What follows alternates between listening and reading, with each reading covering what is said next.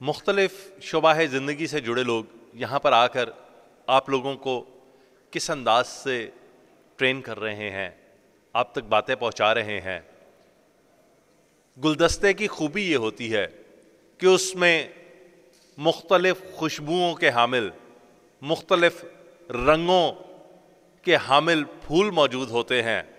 अपनी खुशबू अपने रंगों को दूसरों तक पहुँचा रहे होते हैं। कासिम अली शाह फाउंडेशन का कमाल ये है कि उसने मुख्तलिफ़ शुबा ज़िंदगी से जुड़े उन फूलों को इकट्ठा किया है। एक गुलदस्ता है कासिम अली शाह फाउंडेशन, इसके लिए भरपूर तालियाँ।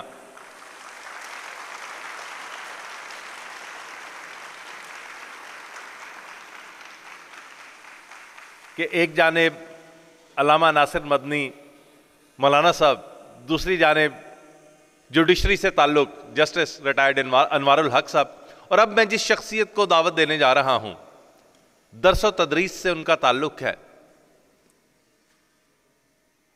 लोगों में इल्म के साथ साथ आसानियाँ बांटने का हुनर उन्हें आता है। कायद आज़म यूनिवर्सिटी के वाइस चांसलर हैं। वाइस चांसलर की जो कमेटी है, उसके चेयरमैन हैं। इंतहाई मोतबर इल्मी अदबी शख्सियत है। आपकी भरपूर तालियों में डॉक्टर मोहम्मद अली।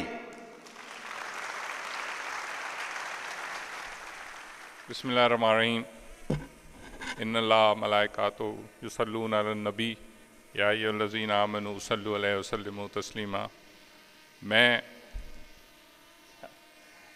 बहुत मशहूर हूँ कासम अली शाह साहब का और कासम अली शाह फाउंडेशन का।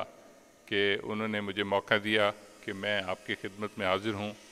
और ये मेरे बहुत दिल के करीब ये मौजू है सूफ़ीज़म और सूफिया का किरदार बर सग़ीर के माशरे में और बिलखसूस जो हमारा माशरा बना है या जो सोशल कोहियन है या जो सोशल बिल्डिंग है या जो इस सोसाइटी को बनाया गया है उस सोसाइटी में सूफिया का क्या किरदार रहा है, क्या किरदार है और सूफिया की तालीमत की रोशनी में किस तरह हम इस माशरे की असलाह कर सकते हैं?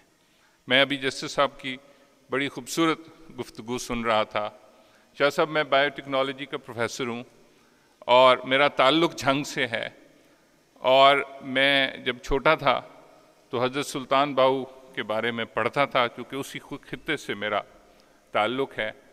और मैं साइंस का तालब इल्म हूँ और मैं हमेशा ये सोचता था कि हमारे जो सूफिया हैं, इनके अंदर जो इल्म है, वो कितना है और कहाँ से आया है? इन्होंने इल्म कहाँ से हासिल किया और एक तो इल्म है, एक उनका जो सोशल रिफॉर्म का जो उनका किरदार है जो उन्होंने इस माशरे की तश्कील में जो किरदार अदा किया है, उसके बारे में मैं सोचता था। फिर जो हम बहुत ज़्यादा हमारा जो जो हमारा करिकुलम है, उसमें हम बहुत ज़्यादा वेस्ट के शोरा को पढ़ते हैं और हम उनको, हम अपने तलबा व तलबात को बहुत सारे जो मगरब के शायर हैं, मैं आपको इस बात का यकीन दिलाता हूँ कि बाबा बुल्ले शाह से बड़ा शायर कोई हो ही नहीं सकता। को कोई हो ही नहीं सकता। हमने कभी कभी हमने कभी हमने अपनी नौजवान नस्ल को बाबा बुल्ले शाह पढ़ाया है। अभी आज मैं हज़रत सुल्तान बाहू के बारे में बात करना चाहता हूँ। As a as a as a reformer as a thinker as a philosopher वो कितने बड़े फ़लसफ़ी थे, वो कितने बड़े रिफॉर्मर थे। उनकी एक किताब सिर्फ़ पंजाबी में है, चालीस किताबों के मुसनफ़ हैं, फ़ारसी में शाह साहब उनकी किताबें हैं, अरबी में हफ्त ज़बान शायर हैं। और माशरे की तश्कील में, ये जो खानकाही निज़ाम है, खानका और दरगाह में फ़र्क है, डॉक्टर सोरा खानका तो दरवेश खुद बनाता है, जैसे शाह साहब फिर बाद में दरगाह बन जाती है। तो वो फिर दरगाह में हम जैसे जो गद्दी नशीन है, वो आ जाते हैं। तो मेरा ताल्लुक भी सैयद घराने से है, जंग से मेरा ताल्लुक है। और यूनिवर्सिटीज़ में, मुझे तीन यूनिवर्सिटीज़ में वाइस चांसलर रहने का एजाज़ हासिल हुआ है। यूनिवर्सिटी जंग का भी मैं वाइस चांसलर रहा हूँ। गवर्नमेंट कॉलेज यूनिवर्सिटी फैसलाबाद का वाइस चांसलर रहा हूँ और कायद यूनिवर्सिटी का वाइस चांसलर हूँ। तो मैं ये समझता हूँ कि हमारे माशरे में जब हम अपने तलबा और तालबात को पढ़ा रहे होते हैं तो हम उनको अपने जो हमारी यूथ है, उस यूथ को हम ये समझते हैं कि किस किस्म के ग्रेजुएट हम प्रोड्यूस करें। वो ख्वानदा हो ख्वानदा होना भी हमारे माशरे में एक बड़ा सवाल है। कि वो खानदा हो, पढ़ा लिखा हो। और पढ़े लिखे की डेफिनेशन शाह सब आजकल करना बड़ा मुश्किल हो रहा है। और वो खानदा हो, किसी सब्जेक्ट का एक्सपर्ट हो, वो एम्प्लॉयबल हो, वो ऐसा नॉलेजेबल ग्रेजुएट हो, जैसे साहब। लेकिन एक चौथा जो कंपोनेंट है कि क्या वो बेहतरीन इंसान भी है, इस कंपोनेंट को हमने हमेशा इग्नोर किया। और मुझे जिस भी यूनिवर्सिटी में वाइस चांसलर रहने का या पढ़ाने का मौका मिला तो मैंने ज़्यादा फोकस पाकिस्तानी माशरे में ये जो चौथा कंपोनेंट है कि वो एक अच्छा इंसान हो, उसके ऊपर फोकस किया। और हमारा टेन्योर चार साल का होता है। जैसा मैं हर यूनिवर्सिटी में चार साल में मैंने कोशिश की कि एक हज़ार से ज़्यादा जो को करिकुलर एक्टिविटीज़ के फ़ंक्शन हैं, वो कराए जाएँ। जिसमें के लिटरी फेस्टिवल्स थे, जिसमें जश्न बहारा था जिस और जिस तरह सूफ़ी मकसद उसका वही है जो आप करना चाहते हैं, कि हम इस माशरे को मुस्बत कैसे बनाएँ। इसकी सोच को इंसानी माशरे में रहते हुए इख्तलाफ राय नॉर्मेलिसी है। होनी चाहिए। शाकिर छूजाबादी का कलाम है कि कमले आसे तो चंगे आसे शूर आया उदास हैं। जहाँ शूर होगा वहाँ उदासी भी होगी, वहाँ इख्तलाफ राय भी होगा। किसी भी एक नॉर्मल माशरे में रहते हुए इख्तलाफ राय होना नॉर्मेलिसी है। हम इसको बर्दाश्त ही नहीं करते। जिस माशरे में इख्तलाफ राय नहीं होगा, वो माशरा एक नॉर्मल माशरा है ही नहीं, वो आगे बढ़ ही नहीं सकता। लेकिन हमारे यहाँ बहुत बड़े बड़े जर्नलिस्ट, बहुत बड़े बड़े मुफक्र बैठे हुए हैं।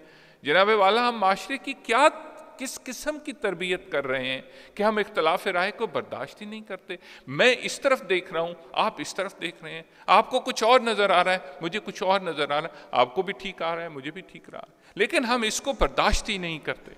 तो ये जो माशरा है, इस माशरे की असलाह के लिए जो सूफ़ी का पैगाम है, जो खानकाह है, उसकी तरफ़ हमें देखना पड़ेगा। सूफ़ी खानकाह किसको कहते हैं? आप अगर बाबा फरीद की खानकाह पे, अब तो दरगाह बन गई, लेकिन वहाँ पे मस्जिद थी, शाह साहब, वहाँ पे मदरसा था, वहाँ पे सराय थी, वहाँ पे आपका जो जुडिशल निज़ाम है सर, वहाँ पे सालसी होती थी, वहाँ पे फैसले होते थे, वहाँ पे सुलह होती थी, ये बाबर हसन बरवाना अभी मेंबर हैं इलेक्शन कमीशन तो एक सीज़न ब्यूरोक्रेट हैं मेरे गाँव के साथ उनको बाबरनामा उसमें लिखा है कि हम लोग जब पाकपतन आए तो हमारे बुज़ुर्ग जो थे उनका वो उन, उनकी जो सक्सेशन की लड़ाई थी और वो जो इनका बुज़ुर्ग था भरवाना ट्राइब का बुज़ुर्ग था वो राजपूत था वो यहाँ पाकपतन आ गया अपने भाई के खौफ से अपने भाई के खौफ से शाह साहब। और जो खानकाह थी पाक पतन की या जहाँ भी खानका थी, वो जहाँ अमन होती थी।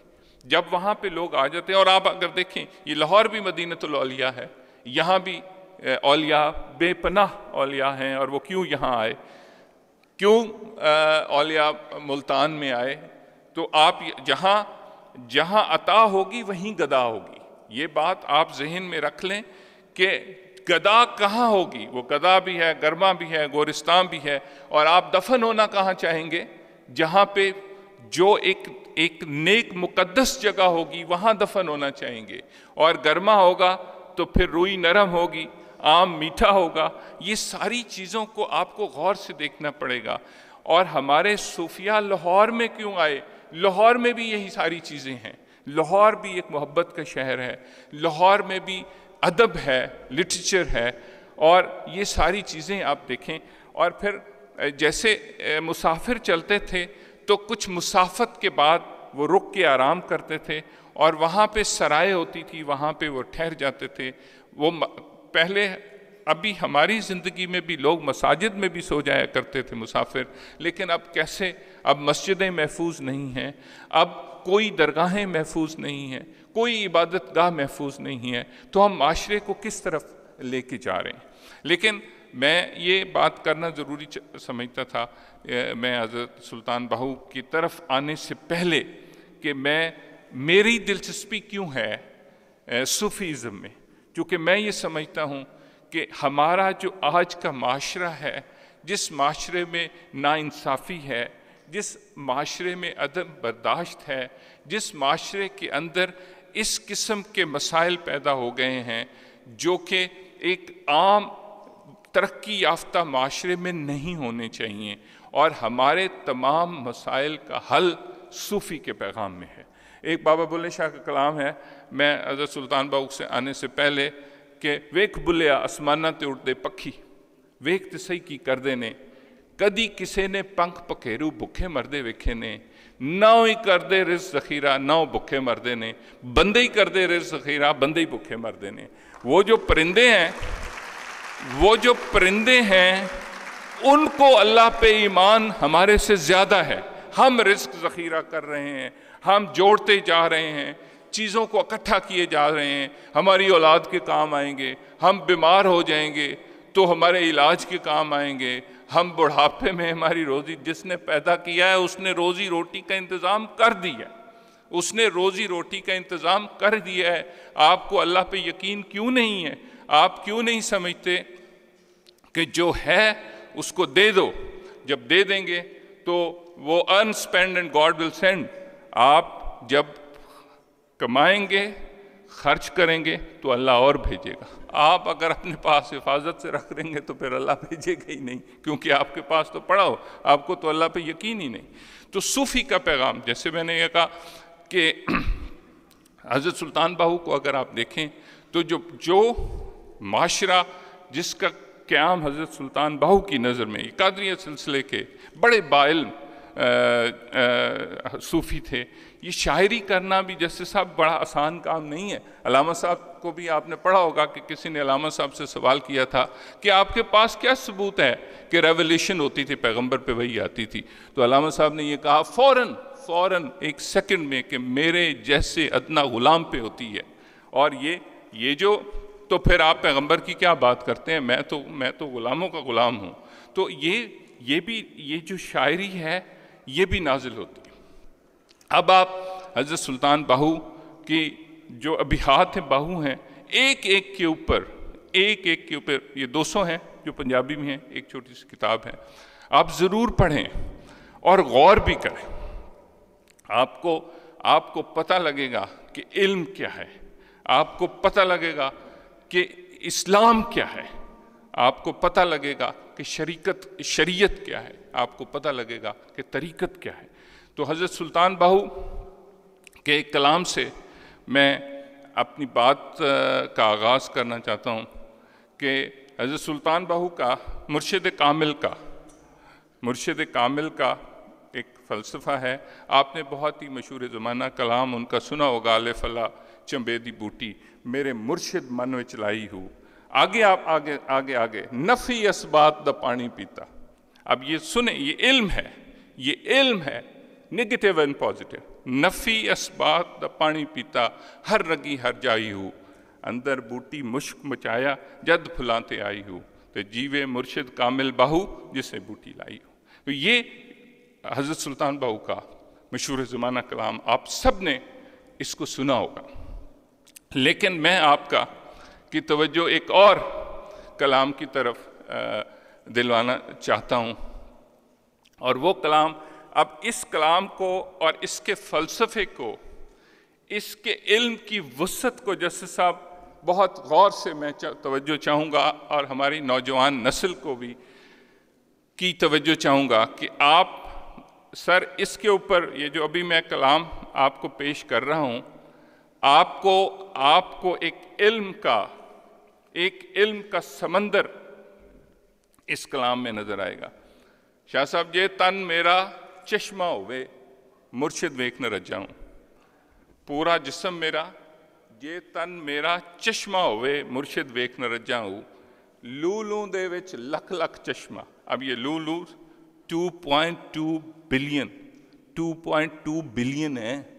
लू लू दे विच लख लख अब 2.2 बिलियन है जस्टिस साहब और उसमें भी हर एक में एक एक लाख आंखें हैं जे तन मेरा चश्मा होवे मुर्शिद वेख न रजा हूँ लू लू दे विच लख लख चश्मा ਇੱਕ ਖੋਲਾਂ ਇੱਕ ਕੱਜਾਂ ਇਤਨਾ ਡਿੱਠਿਆ ਸਬਰ ਨਾ ਆਵੇ ਮੁੜ ਕਿੱਥੇ ਮੈਂ ਭੱਜਾਂ मुर्शिद का दीदार है बाहू मैनू लख करोड़ा आ जाऊं ज़रा गौर से सुने और इसमें सारे इस्तारों पे गौर करें कि हज़रत साहब क्या कह रहे हैं कि जे तन मेरा चश्मा हो मुर्शिद वेख न रजा हो। लू लू दे लख लख चश्मा एक खोला एक कजा हो। इतना डिठिया सबर ना आवे मुड़ किथे मैं बजा हूँ? मुर्शिद का दीदार है बाहू, मैनू लख करोड़ा हजा हो। तो ये आप इस, इसको आप ज़रा इस इस कलाम की डेप्थ को सोचें कि जो हमारे सूफिया थे, इल्म कितना था उनके अंदर और इस्तारे वो किस तरह इस्तेमाल कर रहे हैं। और फिर इल्म को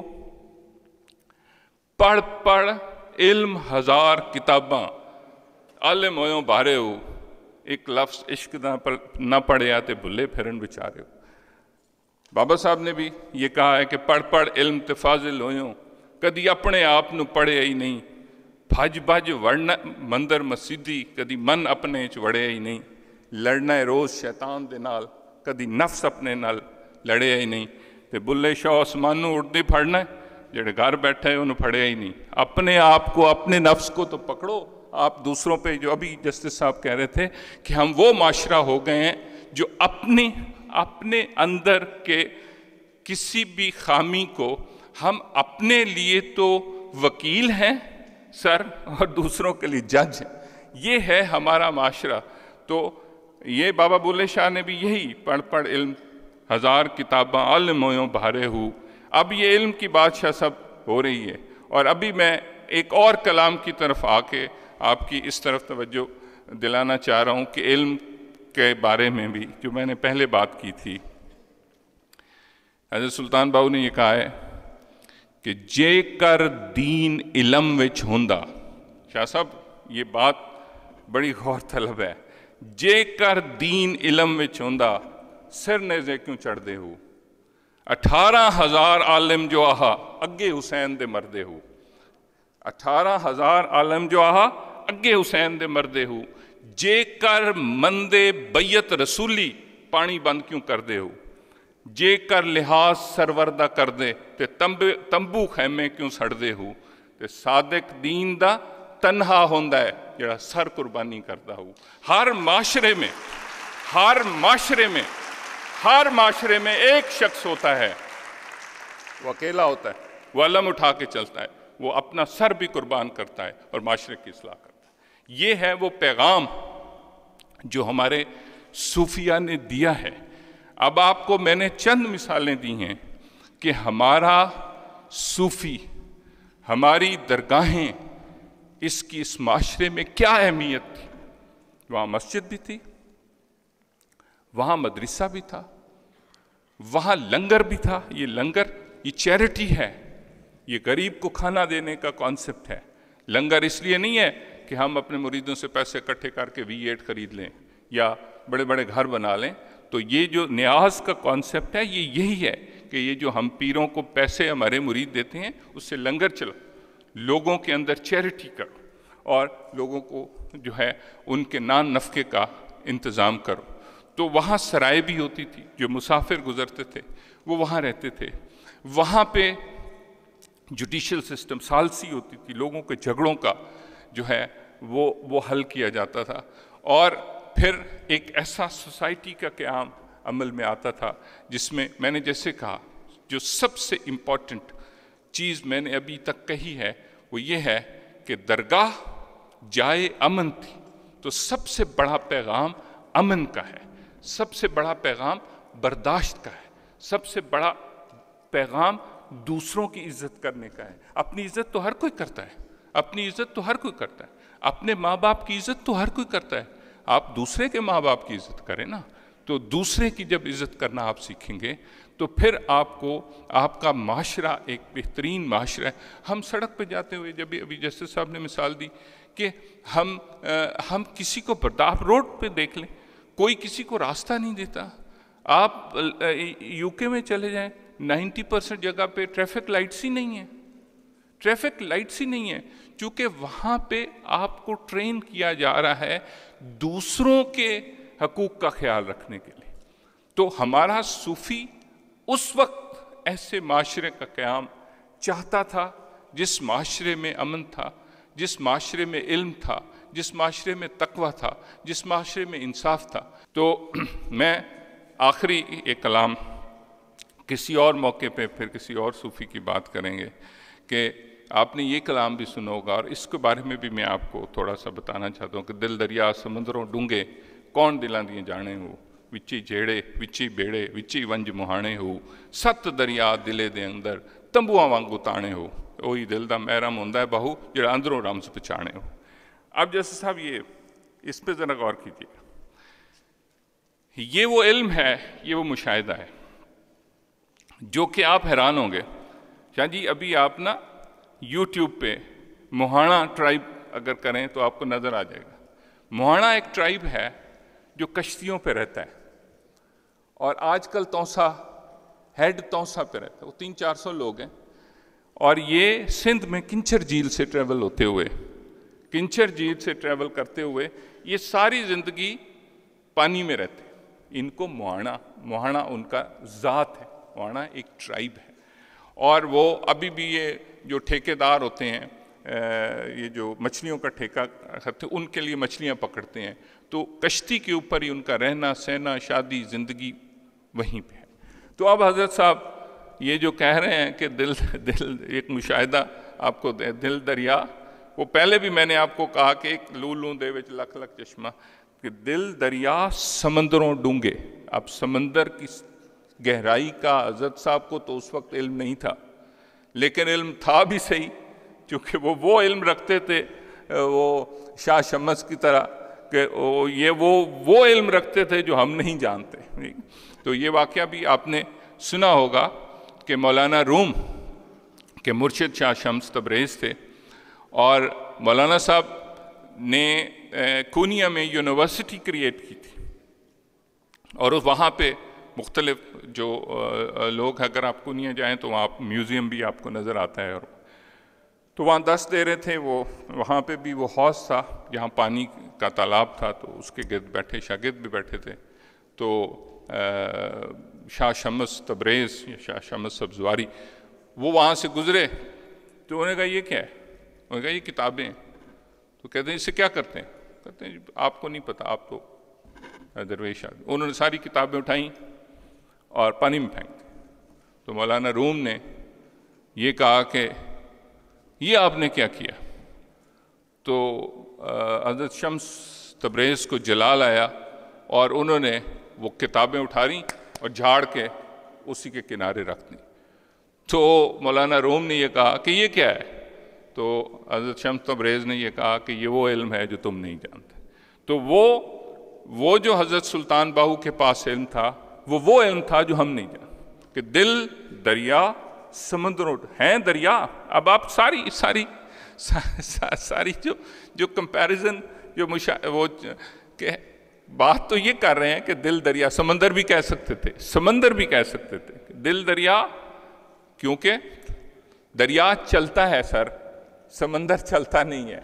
तो हर एक चीज़ को वो जहन में रख रहे हैं कि दिल दरिया समंदरों डूँगे कौन दिलों दिए जाने हो विचे झेड़े विचे ही बेड़े विचे ही वंज मुहाने हो ठीक है विचे ही झेड़े हैं विचे ही बेड़े और विचे ही वंज कहते हैं सर चप्पू को हमारी जंग की ज़ुबान में तो और मुहाना वो ट्राइब है जो कि पानी के अंदर रहता है तो आप ज़रा गौर करें कि किस तरह का कलाम है और कितना उसमें इल्म है कि दिल दरिया समुद्रों डूँगे कौन दिलों दिए जाने हो ਵਿੱਚ ਹੀ ਝੇੜੇ ਵਿੱਚ ਹੀ ਬੇੜੇ ਵਿੱਚ ਹੀ ਵੰਜ ਮੁਹਾਣੇ ਹੋ ਸੱਤ ਦਰਿਆ ਦਿਲੇ ਦੇ ਅੰਦਰ ਤੰਬੂਆਂ ਵਾਂਗੂ ਤਾਣੇ ਹੋ ਉਹੀ ਦਿਲ ਦਾ ਮਹਿਰਮ ਹੁੰਦਾ ਬਾਹੂ ਜਿਹੜਾ ਅੰਦਰੋਂ ਰਮਜ਼ ਪਛਾਣੇ ਹੋ तो मैं आप लोगों को सिर्फ थोड़ी सी अपने अपने सूफिया के इल्म के बारे में बताना चाहता था कि हमारा जो कल्चर है हमारी जो सकाफ़त है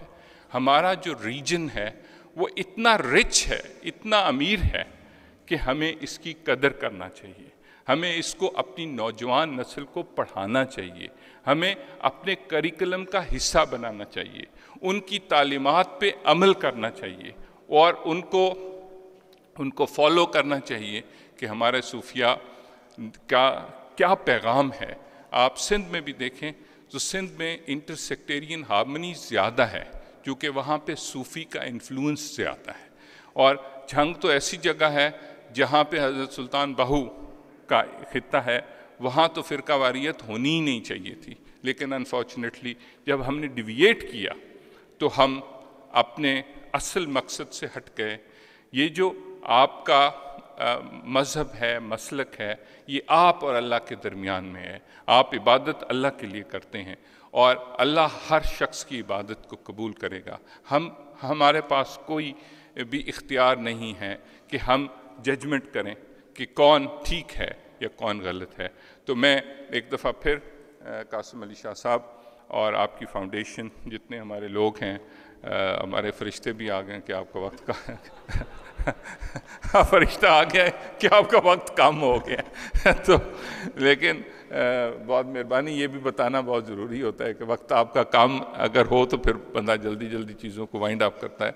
तो मैं ये चंद बातें आप लोगों से करना चाहता था। आपको ये पैगाम देना चाहता हूँ कि हमारा माशरे का जो असलाह है या आगे जाने का रास्ता है, वो सिर्फ़ और सिर्फ़ हमारे सूफिया को पढ़ना उनके इल्म को अंडरस्टैंड करना, अपनी नौजवान नस्ल को उससे आशना कराना। और मुझे यकीन है कि हम अपने माशरे में असलाह सूफ़ी के पैगाम से कर सकते हैं। मैं आपका बहुत शाह सब मशहूर हूँ, आपकी फाउंडेशन का मशहूर हूँ।